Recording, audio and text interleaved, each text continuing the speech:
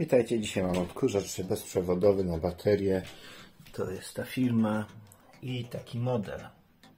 Co się dzieje? Chodzi o to, że ostatnio jak używałem w trakcie, no to szczotka się zblokowała, nawet tego nie, nie za bardzo skojarzyłem to. Zblokowana szczotka spowodowała, że pasek się zerwał, był smród też spalenizny. No więc teraz już to wiem, że to tak jest. Jak włączam to chodzi, ale szczotka się nie obraca. Tak to wygląda. Włączam. Szczotka stoi w miejscu. Więc y, dzisiaj pokażę Wam jak wymienić pasek, żeby napędzał tą szczotkę. W pierwszej kolejności odblokujemy go w pozycji leżącej. Będziemy mieli, będzie wygodniej. Przykładam go na tą stronę. Następnie widzimy tutaj dwa zatrzaski, które będziemy się odblokować. Można to zrobić nawet paznokciem, jak ktoś ma dobre paznokcie silne. Ja się posłużę nożyczkami, przekręcam w ten sposób. Się przesunęło, to samo zrobię z tej strony. Nie zbiło. A, przeszło.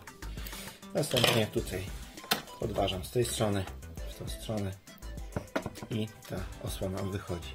Przy zakładaniu warto pamiętać, to są jeden, drugi, trzeci i czwarty zatrzask, gdzie to ma wejść.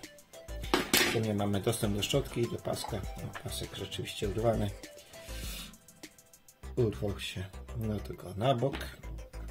Nowa szczotka, po prostu wyciągamy ją, wysuwamy do góry. Warto pamiętać o ustawieniu. Te półkole ma być iść do góry.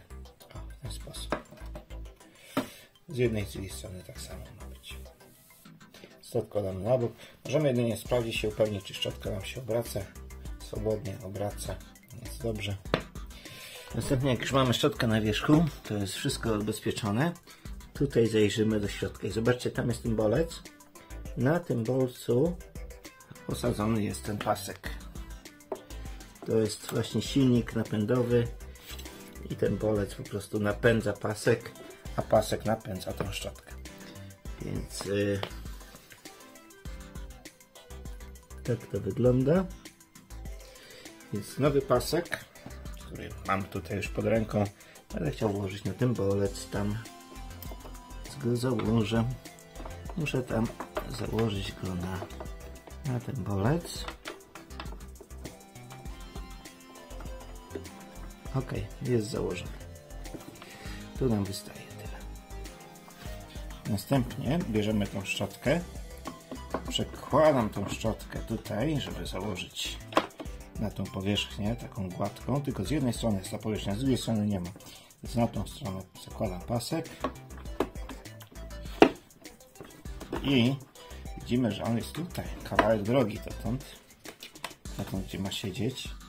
Jakkolwiek tak jest stworzony ten pasek, że on się spokojnie rozciągnie. Kolejną rzeczą, którą przy zakładaniu warto pamiętać, żeby dwie strony w prowadnicę wsadzić mniej więcej w tym samym czasie, one wtedy płynnie wejdą. Pomogę sobie nogą i naciągam.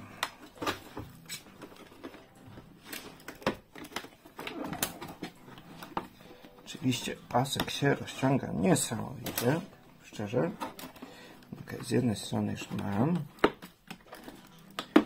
Pewnie z drugiej strony teraz. Jest, jest. Sadzone wciskamy z jednej i z drugiej strony, żeby mieć pewność, że wskoczyło do końca. Oczywiście przyglądamy się tam, czy tam wskoczyło na prowadnicę. Też wskoczyło ładnie na prowadnicę tamtą. Tutaj też możemy pokręcić, żeby mieć pewność, czy się obraca swobodnie. Tak, obraca się swobodnie. Widzimy tutaj ładnie się też na środek ten pasek przesunął.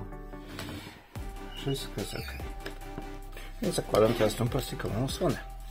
Jak wspomniałem wcześniej, na te tutaj e, zatrzaski czy prowadnice wkładamy w pierwszej kolejności. Skoczyło na swoje miejsce i teraz dociskam górę. Też ładnie wskoczyło. Następnie przekręcam jedno i drugie. Ładnie wszystko skoczyło z powrotem, pasek stary do wywalenia i czas na sprawdzenie odkurzacza.